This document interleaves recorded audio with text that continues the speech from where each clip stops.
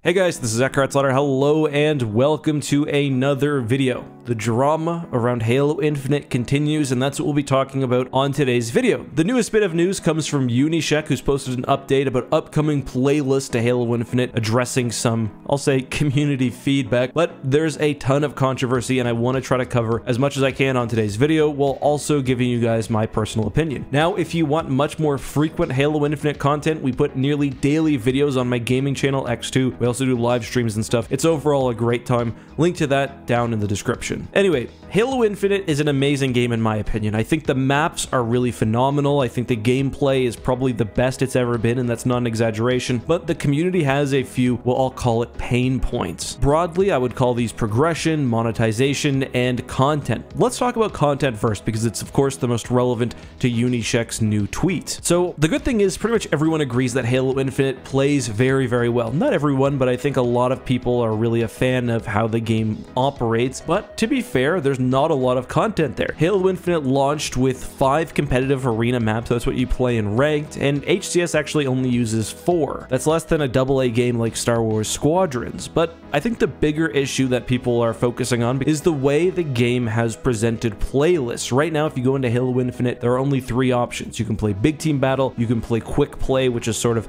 an unranked Slayer and objective game type, or you can play Ranked, which is a ranked Slayer and objective playlist. This is a fairly stark contrast to Halo multiplayer releases in the past, which usually have far more game modes. For one, usually you do have objective and Slayer separated. Those are game modes where people usually have a preference. For two, the game is just outright missing a ton of non-objective or Slayer game modes. I'm talking about, for example, Team Snipers, SWAT, Team Doubles, etc. And the game is also missing a ton of fan favorite objective modes, like VIP or King of the Hill, or even Bomb. Game types that have been a sort of staple of Halo for a long time. I think making this worse was the fact that Fiesta was introduced as part of a limited time event. Then once that was over, an event of course which was filled with monetization, the game mode itself also disappeared. That takes us to John's tweet today who said, let's talk about Halo Infinite playlists. We've been reading your feedback and we're working on plans to add Fiesta, SWAT, and free-for-all playlists as we speak. They won't land by December 8th, but the team is pushing to get them in before the end of the year. He continued by saying, a Social Slayer playlist is in the works, and that they will continue to monitor feedback. So I think a lot of people are going to be disappointed because some assume that come December 8th, when the game technically launched, that we would be getting more game modes. And to be honest, it's kind of strange that we're not. I understand some of where 343 is coming from in this regard, and I'll talk about that in a second, but the game really launched with so little content that has been a part of Halo for a very long time. Like the fact that King of the Hill and Bomb aren't part of the Objective series is kind of weird. The fact that Objective and Slayer are pushed together is also kind of weird. I also just don't really understand why it's going to take so long to put SWAT into the game. Ranked Slayer right now is essentially SWAT, but for the fact that SWAT starts with no shields, you would think that this kind of stuff would just be something they switch over on the server end and it's updated for us. Some people have argued that maybe the UI doesn't allow for that many game modes. If that's true,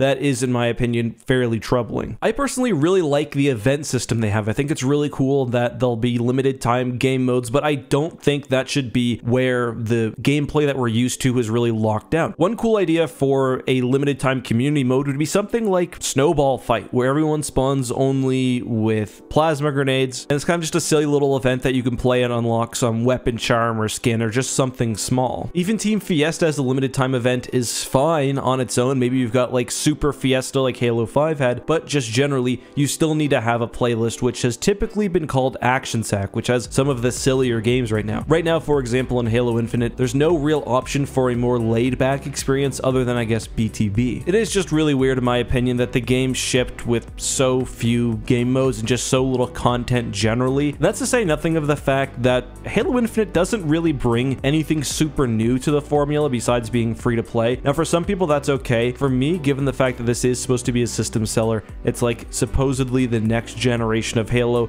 I would have liked to see some sort of new big mode akin to Firefight or Invasion or Warzone from Halo 5. It just kind of blows my mind, I guess, that not only can you not matchmake into these game types, but you can't even play them in custom games. It's just really weird for a game to be so content thin in 2021. Again, I'm not the kind of person who thinks that there needs to be a playlist for every single game type. I don't think there needs to be a capture the flag playlist playlist, for example, but there does need to be one with more objective game types, ones that aren't quite as popular, but objective players still like. There needs to be just more overall. That being said, I do think I understand where Halo was coming from when they designed this system, and I don't think actually that this is something that was done maliciously. I don't think this was something that was done to make battle pass progression more difficult, like some have suggested. I think that they're looking at what games like League of Legends have done, where there's really one marquee game mode that's relied on to draw players, and apparently there's even some information and some data which suggests that players can get burnt out on these more niche game types. That's why I don't think every single game mode in Halo's history needs to have a playlist, but there does need to be more. Moving on though, I will talk briefly about the controversy around monetization and progression. We'll start with progression because that's the one that has gotten some news lately. Progression in Halo has been changed quite significantly. Initially, you got 25 XP after your first game, and then after two more games, then three more games, so the more you played, the less XP you earned overall. Then it was changed to 50 XP every game,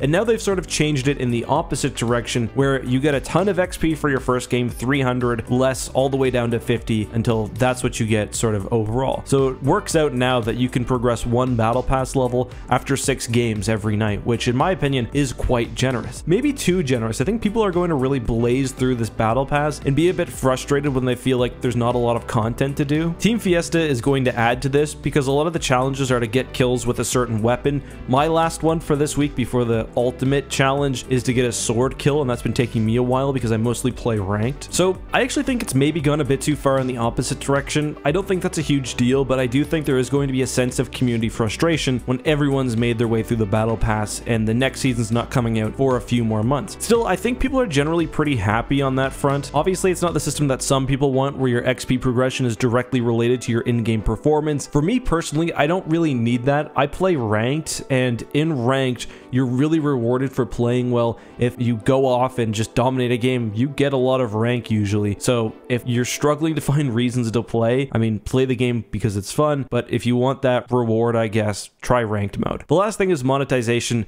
There's been no real news on this. There's maybe been some allusions to the fact that 343 has sort of been forced into pricing things a certain way to gauge community interest. I don't really know about that. I will say though, the Halo Infinite store is not in a great place right now. Things are too expensive for what you get. That's a subjective thing. It's all virtual and made up anyway, so there's no real value, I don't think, other than what people will pay for it. I will say I have seen it feels a high uptake on store purchases. Almost every game I play has someone using one of the premium uh, Yoroi armors or buying the big bundle that's on that store for the week. So I don't actually know whether 343 is going to be inclined to change anything because it does seem like they're doing well. But that's kind of the last thing that I'm waiting to hear from because that's my biggest issue, I think, with the game right now. Not that I'm somebody who really needs cosmetics in my game, but just because I don't like the fact that 343 has tried to clearly squeeze whales for as much money as possible through the game. But guys, that's all for today. I hope you enjoyed this video. If you did, make sure to subscribe to my second channel, Eckstoo. We do almost daily uploads there and we stream. So until then, guys, have a good one, be safe, and may the force be with you.